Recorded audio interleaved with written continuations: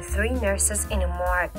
They entered a room where they had discovered that there was a dead man lying on the bed with a heart on. The first nurse was very forward and said, Wow, I've never seen that before. I can't let that go to waste. After saying this, the first nurse sat and wrote it. The second nurse did the same. The third nurse explained that she couldn't as she was on her period.